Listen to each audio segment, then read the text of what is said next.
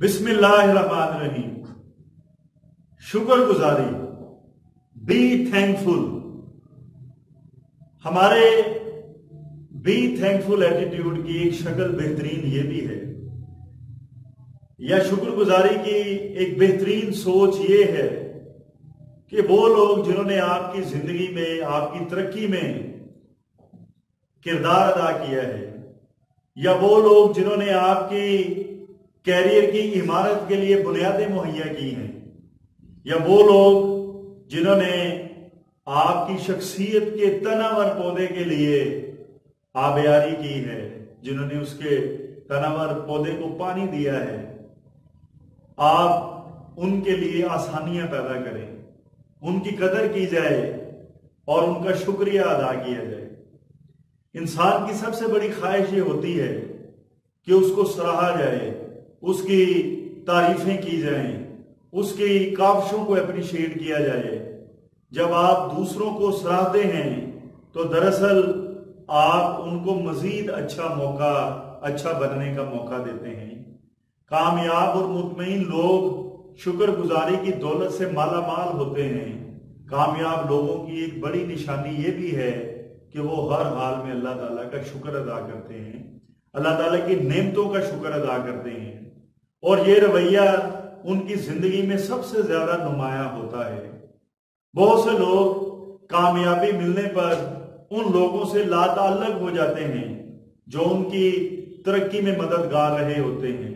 जिन लोगों ने उनकी तरक्की में, उनकी उनकी बढ़ोतरी में अपना रोल प्ले किया होता है, लेकिन कई लोग तरक्की पाने के बाद जो है वो खुद गर्ज बन जाते हैं। उनका ये रवैया उनकी तरक्की का अमल रोक देता है। हमें मुसलसल शुक्रगुजार रहना चाहिए। हमें मुसलसल शुक्रगुजारी का रवैया जो है उसको अपनाना चाहिए।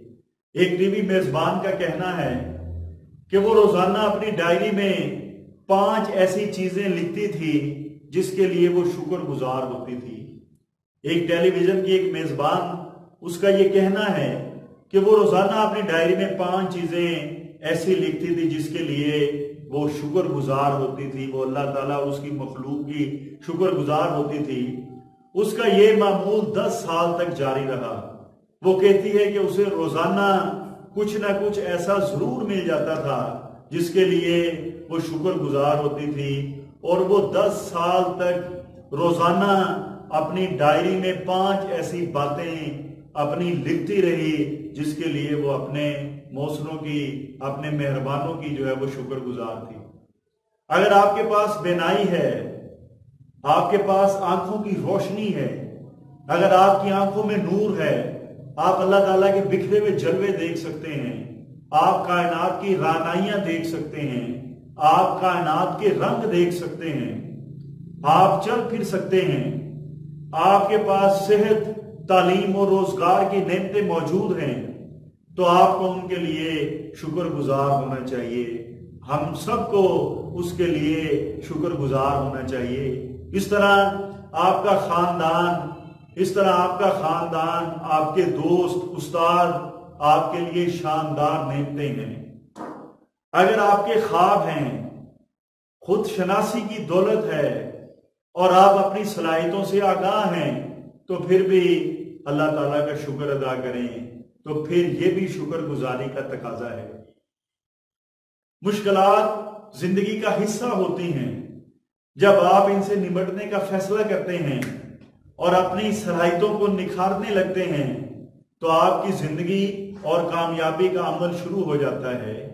जब आप बहुत कुछ खो दें तो इन हालात में भी शुक्रगुजारी का रवैया अपनाना आपको अफसुदगी और मायूसी की कैफियत से निकाल देता है। जब आप बहुत कुछ खो दें तो इन हालात में भी शुक्रगुजारी का रवैया अपनाएँ। आपको अपनी अफसुर्दगी और आपको अपनी मायूसी की कैफियत से निकलने में मदद मिलेगी, अगर आप शुक्रगुजारी का रवैया अपनाते हैं। और मुश्किल हालात में हमारी रूहानी और जिस्मानी नशोनुमा भरपूर तरीके से होती है।